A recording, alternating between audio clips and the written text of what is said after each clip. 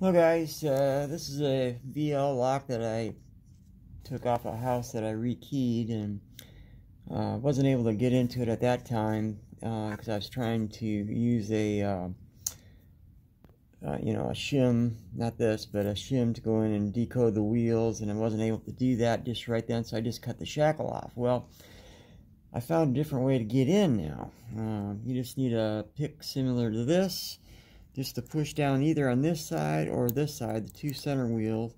Push down until you feel something springy. And once you push it down, you just pop it open. And there's the keys. Now another thing I noticed about these keys here, see the code on there? I don't know if you can see it. There it is, 76667. When does a Kwikset key have a cut 7 on it? That's hardly ever. But this key has two of them. Alright, that's it.